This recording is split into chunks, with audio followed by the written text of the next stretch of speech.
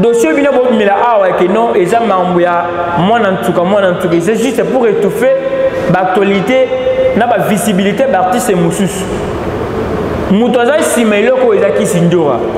kisindora obosani ke non guerre olukaki nano ya tia date yo nde moto olukaki yango nano yo moko olukaki bato batya badate bato bazotya badate otikisi mambo ya badate okei mama oko concevoir idée moko boye ovandisi mwana moko boye mwana bato aza innocente botangisi ye maloba moko boye aya koloba pour dénigrer et rabaisser l'artiste jb mpiana toyebi biso nyonso parcours ya jb mpiana na congo oyo il faut te reconnaître aujourd'hui si on a fallu popa on a des werrason et des, des, des, des ferregola des fabricas et autres c'est grâce à bavie wana bavie wana bamérite barespect makasi koma bino bofonde eloko moko boye eza na base moko eza na fondation moko te bobimi nango kaka bongo ngulungulu ok bobosani ke banalyse ekoya il y aura des analyses d'une manière contraire oui mais banalyse ya vrai ke to passer na autre chose donc éclaircir et passer à autre chose tolobi ke no ezalaka nde boye koma moto abota na 15 ans lelo age aza nango na age oyo bino bolobela eza ya ne moko te siko mpo na bino ya neni keno papa sheke abota na minere minere wana papa sheke akenda na ndako ya baminere ake koluka keno na na posa nyonso minere oyo akoma na orchestre na nga fo mbe omitana akoma sheke pa sheke ndenge nini soki otali passé ya mwana samontriki mwana wana azalaki da aleka da mungwa à cet âge wana soki otali mwana wana nde osala bango ezalaki intolerable donc faute mpe ezo revenir na bapara na ye donc na likambo soki bino bolingi bomona ke non papa sheri aza na erreur d'abord tokondane mpe famille na ye poni bosedaki mwana na age wana koma danseuse na age wana est ce que bopensaki na avenir na ye non soki balaki yo poto okei te réclame ka poto surtout ke kobamba balokuta non yo kolo histoire ozo maîtrise histoire te imposer nous les œuvres to na posa maloba ebele te tobima miziki wapi jibe fena asali nini omoni bopona moto bozalaka ne na donc na diver donc adiversion na bino ezalaka fere bosamwisa ata fere c'est important mpo da bosamwisa ata fere kala sikoyo kokona ntina niveau ya kotika fere mpe bonga bino moko wana botiki fere bokeluka bokeluka bosekusa ve na biso tabule moto da kufa okolandela makambo na ye asala o soit disant olympia na ezalaka lokuta toka elandele me tabule aza envi te tabule da kufa qu'est ce que vous avez impressionné bien motivé boka elanda mambo ya tabule aza déjà ero mikuwa pour dire quoi adversaire na bino oza en face bokoka ye te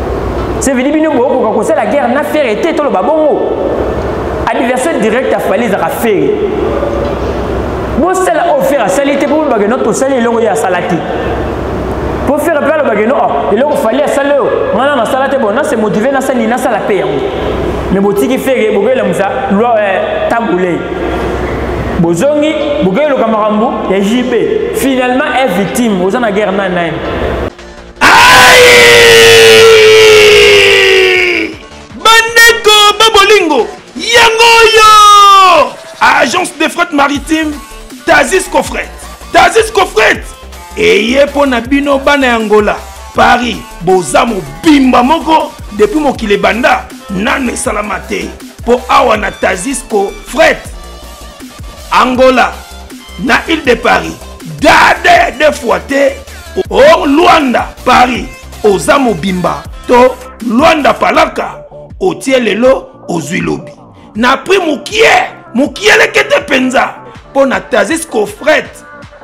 angola paris vite vite mbangu mbangu na ile de paris luanda mpe paris palanka oza mobimba otie biloko na yo mpo na bakontakte nyonso okoki kobenga na nimero oyo 0760 17 13 98 na tazis cofret yango nde agence ya fret maritime ya solosolo mpe ya sur mpo na bana ya ngola mpe ya paris non c'est trop fort basupporter bagangi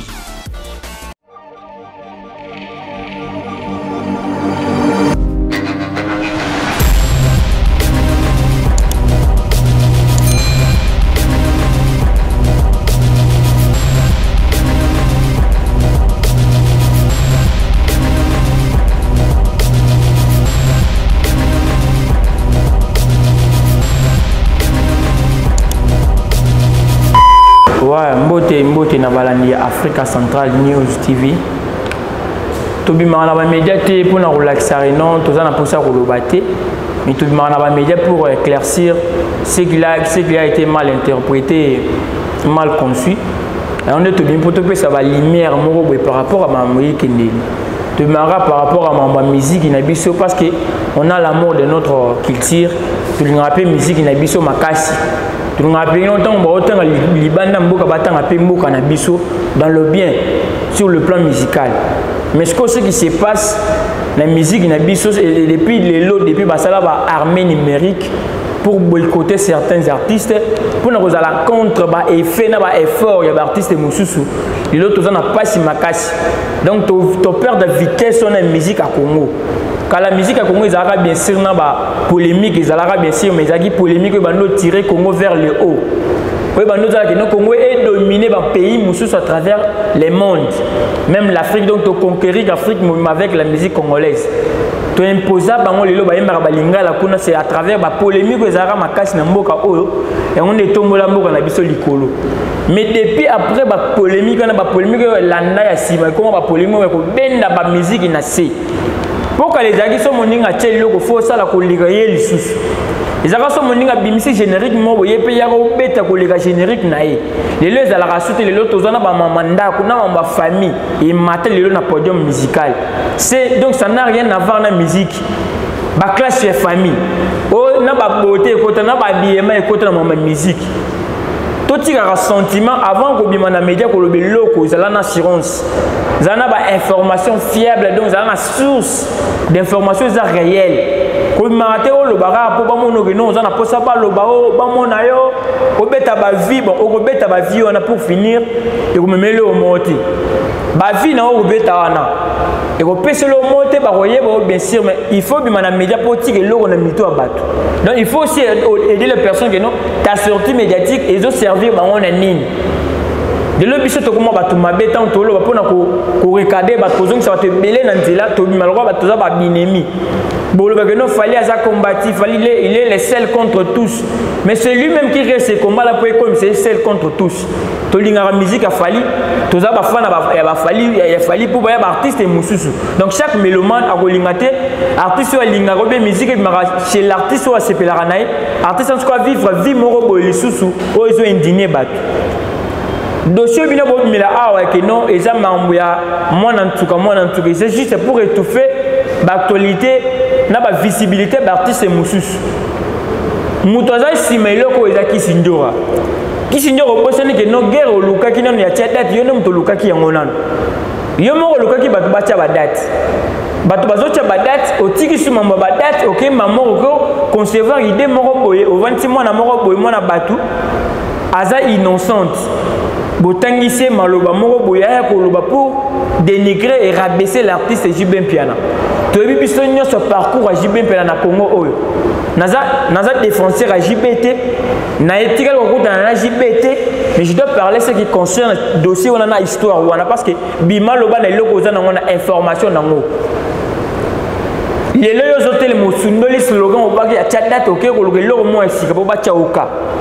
ezosupa sikoyo nyonso wana eza sikoyo baarme bazozongisela sikoyo fali pupa or il y a d'autres choses fallait aza au courant te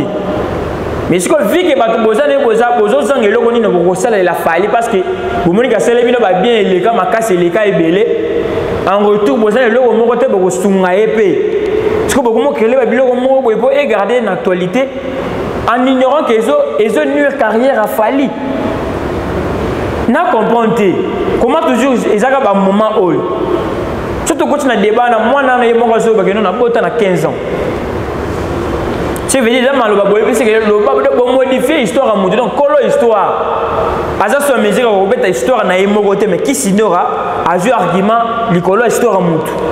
oyo oh, ozala na place moko te soit disant oyoka ndenge oyokaki epuis na nsima makambo boza na vision moko boye boza na cible moko boye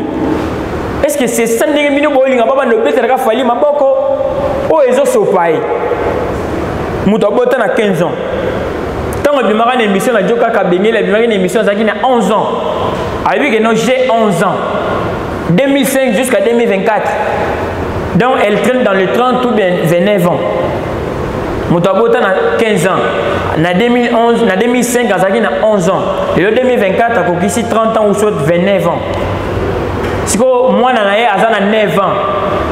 bon zwa 9 moins donc 30 so aza na 30 ans tozwi 30 moins 9 so aza na 20 ans tozwa 20 moins 9 ekotikala age oyo abota nango donc abota mineur te abota déjà azalaka da majeur c'est ça la réalité sikoyo yo oyebi bien que non réalité yango oyo maintenant c'est quoi ton objectif na sima sortie mediatique wana ovise nini oza na posa ya nini papa sheri ntango amibengaka moto pamba abibengaka moto pamba te mpo acree base azalaka moto moko balingaka simplicité makasi orempondre ere moko torespectaka mpe bato tolongolana na kivia kigoloa kiwarior kispiritas restons d'abord congolais kisinyora ndenge ozana eske tu peux aussi accepter que papa sheri wana c'est ton papa moto moko boye abimi mpe mpo asambwise na basense wana mpo jusqu'à présent moto tu azwi nde audace ya kotya kamera na ye koloba di n'importe quoi à l'encontre ya ou bien au détriment ya papa chéri mais tolingaka miziki na biso tolingaka mpe baartiste na biso ngai namona kwa nzambe adelivra papa oyema mpo akufaka deja kala mpe a son ame soki papa oyema azalaka vivant jusqu'à présent balinga mpe basambwisa ye mpe balinga mpe bakotisa ye mpe na baminiatike ndenge bavie na biso basambwaka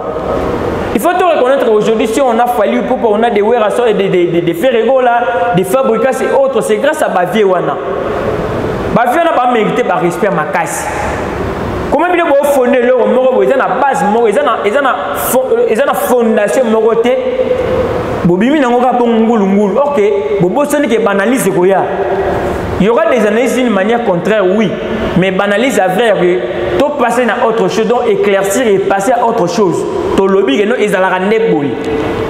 koma moto abota na 15 ans lelo age aza nango na age oyo bino boolobela eza ya ne moko te siko mpo na bino ya neni ke no papa seke abota na minere minere wana papa seke akenda na ndako ya baminere ake koluka ke no na na posa nyonso minere oyo akoma na orchestre na nga fo mbe omito nano akoma seke pa seke ndenge nini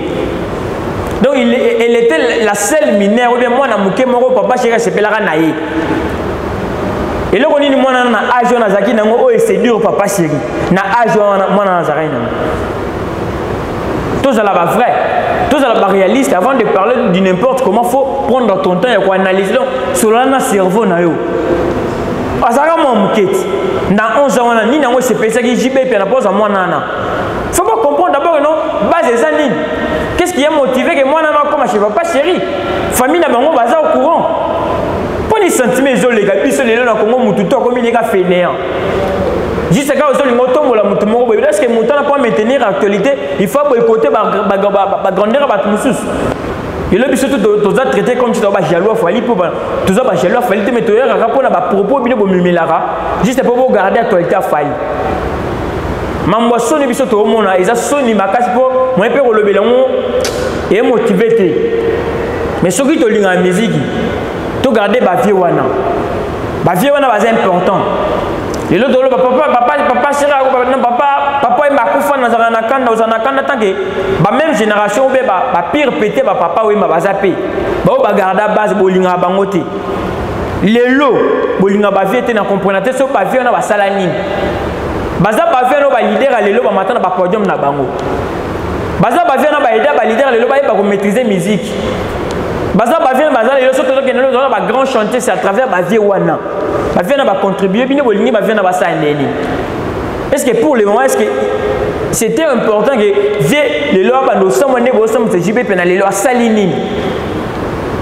Qu'est-ce qui est derrière cette inspiration que nous avons dans la émission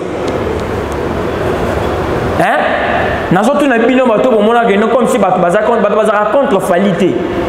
bato bazalaka sikoyo contre bapropos na entourage na ye parce que ya d'autres personnes baza na bacompte à rendre na baartiste mosusu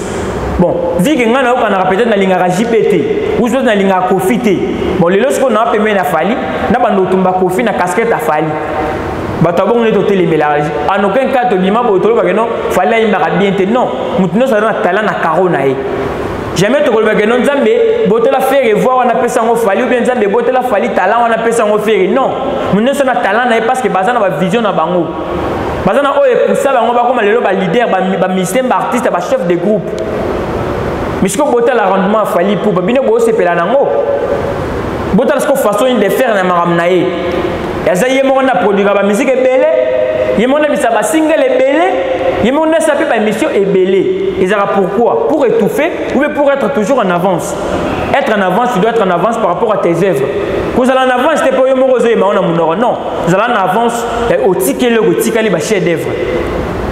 sikoyo lelo grandeur soki totala ata barendement lelo na poto wana fali nepal esela kokɔta na poto kobeta na poto Et azala inspiré ntango azalaki au sein d'un groupe moko boye groupe wana ememela bango poto bayemba yango nde akomprenaka oui en tant que musicien tu peux quitter du ghetto pour aller faire à l'international yango nde mposa fali lelo mais lelo ntango biso tomemaka langage moko boye naza warrior aigle boye na boye ye nde aleka baniveau de wendo jusqu'à madiab de wendo na parquet na critère nini oyo esalaka no fali akoma de wendo jusqu'à présent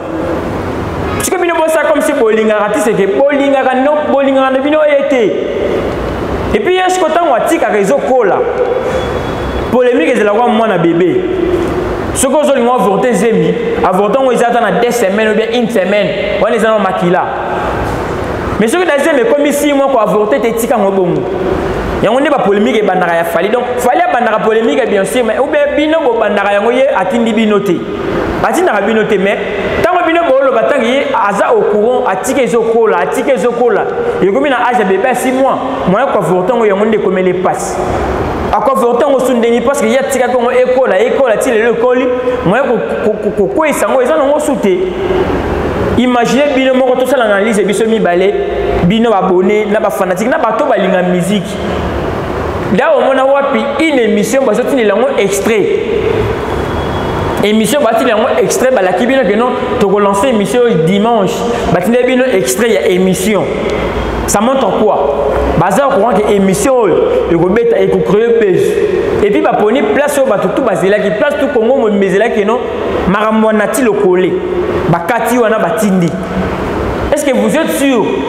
que le dimanche on a fallu être en direct, fallait azaki direct en direct. Donc dimanche on est pas fanaki na, na télé na aota la ndenge évolution, azaki pe na chomo na internet, aota la rendement, na décollage ya émission na ye. Siko moto abongo yo kokumisa ye kaka olakisi eke no vie eloko osali ye basala yango boye te falaki mpa osala boye fali en état international professionnel fa pona groupe moko boye équipe moko boye akende bato baverifie basortie médiatique na ye avant de sortir il faut toyebaka no bakoya yango epa journaliste ya nani ndenge ozalaka na bamanager batala production il faut ozwa yango il faut bato mpe bapona mpe basortie médiatique ya artiste avant de sortir c'est quel, euh, quel journaliste akoyamba yo botuni sikoyo journaliste ozolinga oyamba fali okotuni baquestion nini te na ngai natuni mpo na boye boye bokotuni boye te tuni boye après bino bosali résumé obimisi ko epa fali pupa aigle journaliste moko boye azoluka yo biso moko totali tondimi ke wi aza digne ya koyamba yo bon ntango okokende akotuna yo boye boye boye mais yo mpe ntango omoni ke azolinga kotuna boye soki omoni question oyo eye répondre yango boye soki fale kokoma gere bongo na basortie médiatique na ye c'est normal parce que dans la musique fale epesa biso dapone musique wana moto akoni yango aza nde te epuis fale aza polyvalent ayembaka na badifférent style tomonaka ndenge epesaka tomonaka rendement nango tomona mpe baresultat keno bastyle nyonso fale ayemba na musique urbaine ezalaka bamusike ya bien musique nini urbaine ayembaka batitre nyonso ezalaka nango tokos ezalaka mpe eh, cool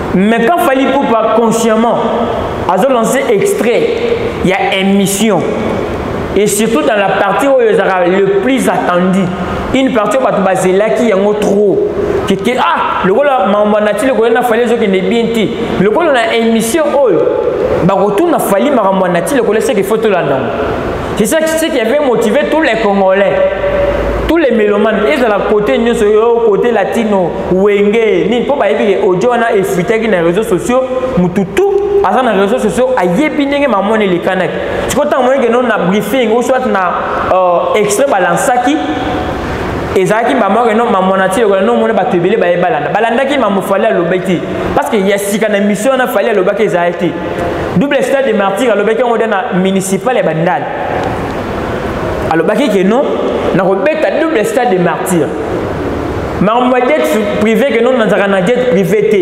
alobelelaki yango déjà comprendre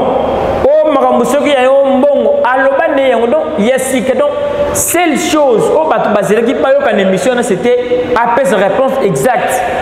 par rapport à question ya nati lokoli mais malheureusement a devait yango pour lui a trouvé ça que non c'était privé bon eloko ezalaki privé pourquoi bolasaki yango na extrait eloko eza privé bon bino bozwi eloko eza privé botieli biso extrait ya émission nous on connaît bien que l'extrait ezalaka na baclip popesa bamelomane bafanatique goût que non artiste alance clip ya sika tala biloko ezala na clip yango wana baartiste abalansaka baextrait ya, ya, ya clip bozwi extrait moko ya clip bobwaki mpo opesi mpe na date que non nakobeta oyo mpe nakobimisa clip oyo ezala officiel peut-être jour intel na air intel mpo bato balanda yango sikoyo lelo baémission ekoma mpe kolandela yango kobwaka yango baextrait epuis extrait bino bosali oyo bono bobwaki eza extrait boye koloba sikoyo te na émission mais c'était pas le cas c'était pas important papa shege aza mokolo azalaka humble akota na bapolemike ye na wera ezalaki ndule sur ndule bazalaka bavrai bamaster lelo mpe bazalaka bamaster mais lelo polemike efali ekotya ntina vie privé na ye na ndako ekotya ntina makambo ya bana na ye il avait préféré kozwisa bato babiki ayesi bato kende nazo choke bino bozwa babiki bokoma wana mamwa mwana na ye andimi mpe achoke bato bazwa babiki mais oyo tali kutu masta na ye bafamille moko te makila moko te atrouve yango ekoma privé mais c'était pas important obaka extrait wana falaki balongola bazape extrait wana na émission mpo oboyaki ekoma privé sikoyo lelo boyotambwisa yango motu to ozokota na ba na ba live motu ozobima na mission alobelaka jb et puis il y a d'autres personnes azala na ba problème na papa chéri jb piana sikoyo azoprofite na yango mais bocomprendre boke bafondateur ya émission wana est ce que baza bato bazalaka na instruction moko boye mpo avant de faire des choses il faut aussi oza na calendrier na mambo osala il faut ozala mpe na repère donc point de repère moko boye point focal bato mosusu batanga na bango te lelo réseaux sociaux epermete motu tout akoma leader d'opinion oui moto mosusu akozala atanga te me abimisi idée moko boye ezala mpe normal bato mpe bazwi basadapte nango lelo fali na faire tofelisitaka bango mpo balekaka marge balobaka na badefaut ya bafrançais mais à 100 bakoma 95 balobaka bien basexprimaka bien mais toyebi ke bavia na batanga classe ya malonga te c'est ya félicité lelo mpe baza baleader d'opinion baza bachef ya bamouvement lelo bamemaka mpe bato batanga koleka bango bamemaka bango na baputu eske yo sikoyo otala biso miziki na biso faso oyo olingela miziki na format ya congo yo okolinga ekontinue kaka boye na baklasse à la place toklasse na ndenge ndule tokomi oklasse ane biloko mo epola nga na comprendre na tiko mona place mode JP akota ba polemique ba ba finga na te na mona conflit ya JP na Wera na ba danseuse bazo senga ba bonne manière et pas ba danseuse mususu te papa chéri tala tango zo ba danseuse tala ka ngi petit na tanga esungaka mais lelo ça pas de sens lelo na ba na ba na ba artiste ya victime ba bimaka po ba clasher ba artiste lokola bango po na bango réussite ya musique ezaka na victime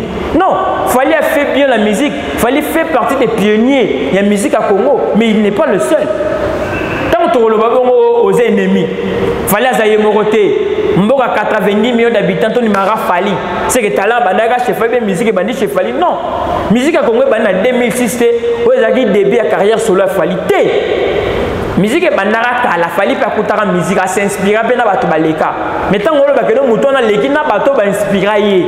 tu trouve ça normal yo ozofanda mpo otikaka babese wi batala o mais biso tobimaka mpo totika eloko na mito ya bato tobimaka pour faire réfléchir la personne il faut kovanda kotala donc tamise makambo oloba oloba mpo na esengo na yo oloba mpo bomona yo to oloba mpo opesa mpe éclaircement donc okata débat mpo dans chaque chose soki ti deux personnes bazobuna troisième personne ayaka mpo akata débat sikoyo yo ozolinga okata deba na ngambo ya nani ngambo ya moto aza na raison te moto azobake non abotani na 15 ans oke c'est pas une réalité abota déjà aza majeur alobi ke non babotelanga mwana nga depuis 5 ans lelo mwana aza na 9 ans non namona ye te bon depuis 5 ans na 6e année obimaki te mpo nini ou bien après ou bien 5 mois après obimaki te poani ou bien une semaine après obimaki te pour revendiquer poani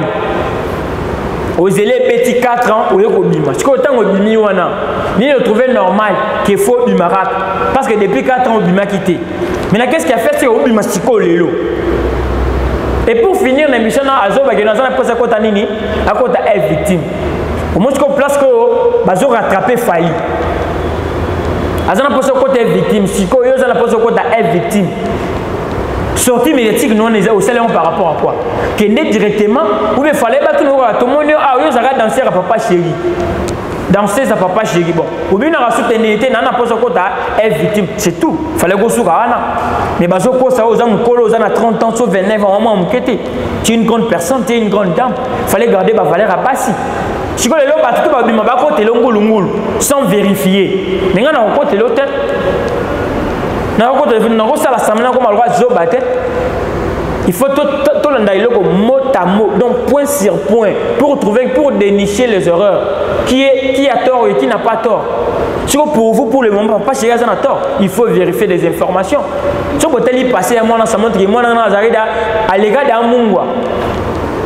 à cet âge wana soki ozali mama mwana mwana na ando osala bon ezalaki intolérable donc faute mpe ezo revenir na baparent na ye donc na likambo soki bino bolingo omona ke non papa chéri aza na erreur d'abord tokondana ye mpe famille na ye mpo ndenge bosedaki mwana na age wana akoma danseuse na age wana est ce que bopensaki na avenir na ye non soki balaki yo poto okei te réclame ka poto surtout ke kobamba balokuta non yo kolo histoire ozo maîtrise histoire te mais pour finir ezo nure fali pupa biso moko toyebi fali awuti obima awa asali émission avant oyo oh, fali abimaki asalaki baémission basortie médiatique fali kaka ye moko azopesa bato bamituka azofilme yango bon soki na comprendre te ezalaka mambo ya kar oyo eza mambo ya miziki na biso kongo mais faut totika yango todeveloppe miziki soki eza biloko ya kala mai tochange yango place nini omoni games davido baza mpe na bato bakompagnaka bango fallait to comparaka bango na badavido wana parce que ya en tant que professionnel badavido baprofessionnel totala sikoyo mode de vie artistique donc artistiquement ya ba Davido na ba Gims ezaka nde mona mamu fali ozo sala fali est international mais azo vivre aka na format ya Congo ndenge nini yake ozo pesa bato mitu ozo filmer po esala nini ekende nango ti wapi okopesa kaka to no mise no car c'est tout bayebaka obabanisi oh, afali bazalaka na bakar surtout il faut toyebaka ndo yo opesi bango donc fali mposa na ezalaka nini komona etangamaka mais fali oza artiste il faut oyeba ke il faut otikaka baevre etangaka na place na yo na poto okendaki mpo na ngai nasepelaki no yo nde oza seule personne oyo bando defie bacombattant mais olongoli sikoyo defie oyo bawenge batika te en matière ya baprestation or que c'était le moment ya kosala yango jusqu'à présent osali devoir oyo bawenge batika te na bapre donc baconcert ya bawenge ebeta te na ba 99 ba 97 biso kutu tobotama te mai lelo naobeta lisolo ya concert ya zenith nazala te mpone nakuta yango fali fale otika mpe bana oyo bakobotama ata 10 ans après bakota mpe biloko moko bekono fali asalaki na yo arenake yo olobela yango tikaka yango tikaka biloko moko boyeke no mwana abotami akuti yango ndenge mpe biso tokuta prestation ya bawera na bapoto wana sikofike oeshue kosala devoir wana bawenge batika ya baprestation omoni kosalaki mabe obandeli mabe eza te bawera mpe babeta bastade martyr ba deux ou trois fois problème eza nango te mais il faut se rendre compte que deuxième tour ozolinga ozonga oyo okosala mie ke koleka oyo da osali obe raison mosusu ekoya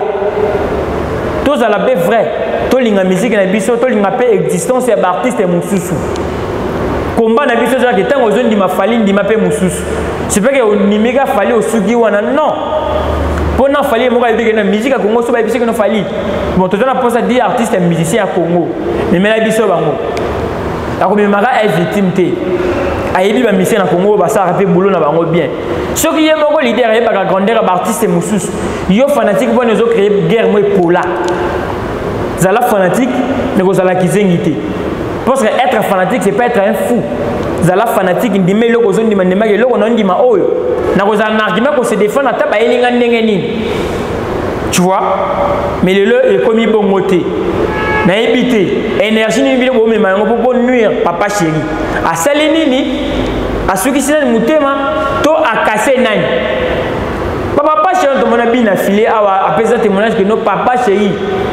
batuna ye na poto mpo baproduire nga apesa témoignage malamu mpo na nga bike petit oyo asaka nde mosala malamu mais c'est important quand même c'est déjà un plus lelo on est fier na bamiziki bavia na batika mais comment kosambwisa mokolo jusqu'à ce point okomonisa bavideo ne ya kala c'est un être humain akozala na bafaute mais dire que biloko bino boloba na biso na c'est pas une réalité donc bosupprime balive na bino bolongola bavideo na bino ekendaki déjà à l'encontre au détriment ya papa chéri juste pour valoriser bato moko boye non parce que ezolenda bavérité ezokontinue kobima ekonue carrière ya bato baorganize eloko wana eza soni obandi tya date batye date tuna mpe bato mosusu me frere atie me bino mpe bozela nini mpo otangaki bato ebele me frere atie esili okoki base mosusu ce veut dire badate ya frere ezoderange to ndenge nini mpo après avoir badate afere atie fali mpe atie badate mosusu ekomi guerre ya barena oyo atie oyo atie c'est une fierté mpo congo na biso nde drapeau eza flotte kuna eza ya congo ntango bakomonake no oyo na bordeaux oyo na lyon bango mibale bacongolais c'est une fierté mais sikoyo na comprendre bino te campagne na bino bomi yango bolingi bopase message nini biso to déteste jp na ba mensonge bino bo fondé sur lui to ina JB to sa ba vidéo contre JB tant que aza na raison aza na erreur moko te aza na erreur moko te hmm? moi aza na ba réalité ya vie ne moko mais akoki te histoire ne moko kisi ndeko abeteli yango donc kisi ndeko asali le résumé ce qui n'est pas réel tolingaka baartiste na biso nyonso tout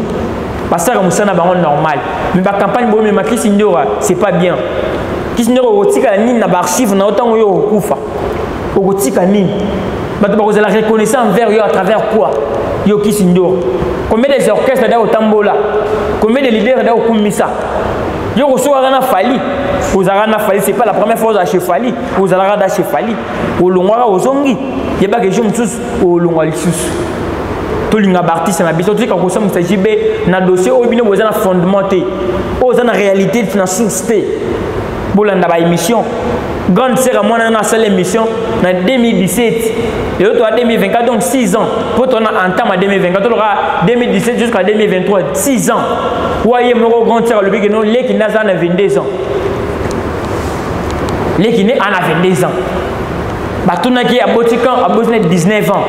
mais ye moko mwana ayobake non naboti na 15 ans donc mwana mwasi acontredit grande sœur na ye to mwana mwasi azolinga akoma histoire ya sika lelo mwana wana azolinga akomela biso histoire moko basika lelo lelo mpo maloba grande sœur na ye eza tokende na, na congo france toko na, na congo france tokuta émission ya 6 ans passé o mwana na o grande sœur ya sœur wana ya fille wana Alors, bah, non, Leki né, à Botan à 19 ans, il était, euh, euh elle était à l'âge de à, bon, à, oui, à Botan à 19 ans. Mais les lots, tant que le babouille, non, toi contre Fali, toi contre Fali, toi contre Bato, bah, pembe na Fali. baorganisaka babiloko moko mpo basukaka bato mosusu oke baza na guerre na motu moko te lelo banda bato to wana baba pire peti ya kofi basalaka basnapchat moko mpo basoke donc tozala uni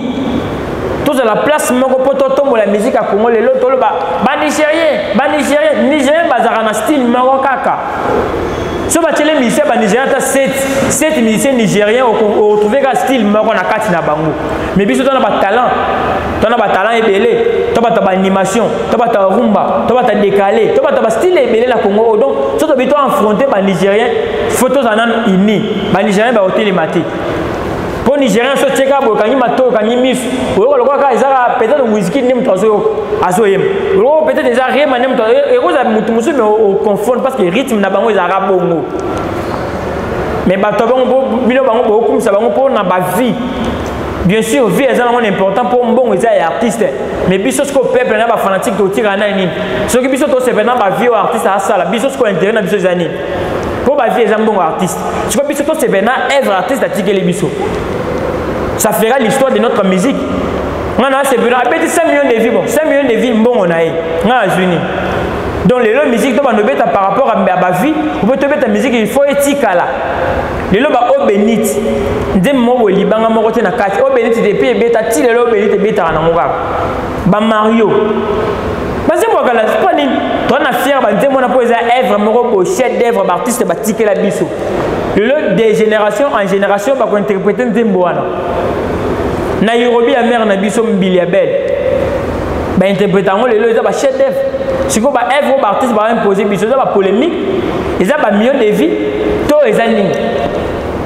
Donc pour les man en tant que ba congolais, tous sur en tant que ba congolais, on peut retenir quoi pour le man de la musique congolaise, il y a génération old.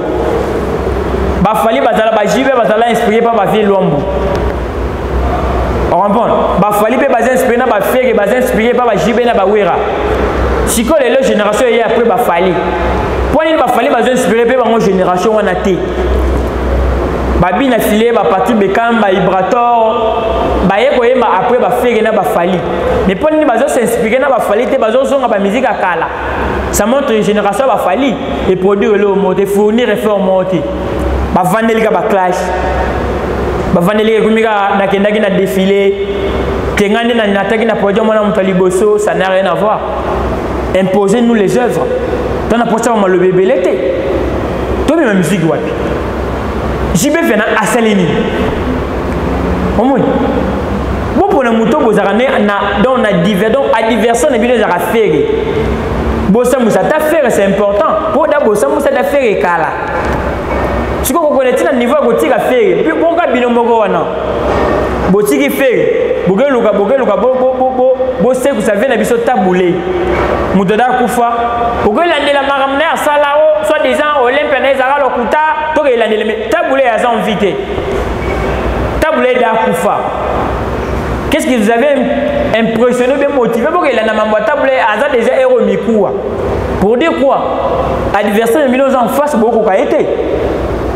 se vidi bino bokoka kosala guerre na fere te toloba bongo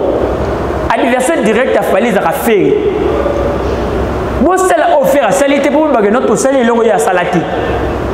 mpo fere mpe alobake no oh, eloko fali asala oyo ngai nano asala te bon nase motive nasali nasala mpe yango me botiki fere bokoyelamusa lwa eh, tabulei bozongi bokoyeluka makambo ya jp finalement e victime oza na guerre na nani bino moko nde bolukaka guerre qu'il fallait aza mal aimé non bino moko nde bozonga bocentralise congo bino nyonso batya miso na bino batalela bino ke non balingaka fali te no balingaka fali motu to alingaka fali bavie wana nyonso ntango fali abanda carrière na ye basepelaka na ye mpe wi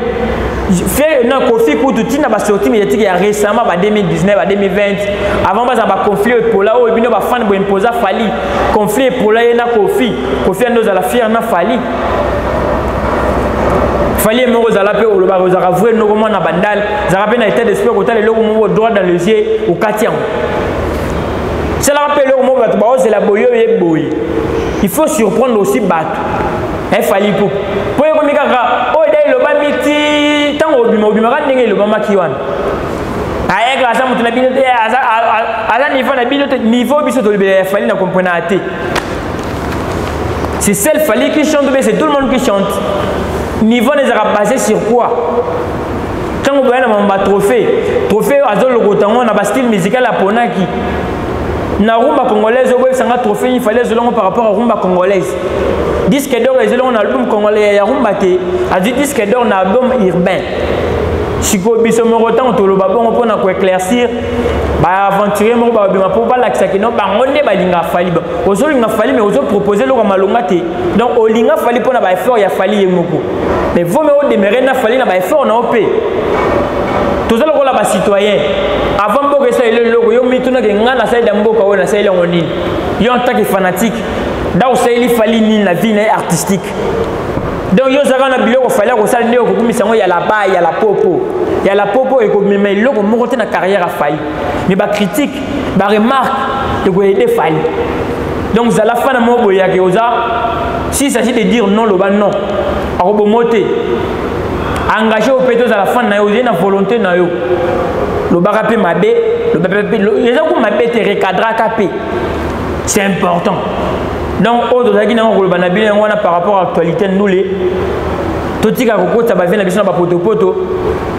tuti kotia bavie na biso na baminiatire epola baa bavie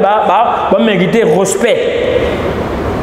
donc sali ya tout le monde oyo boolanda biso baabonne fidèle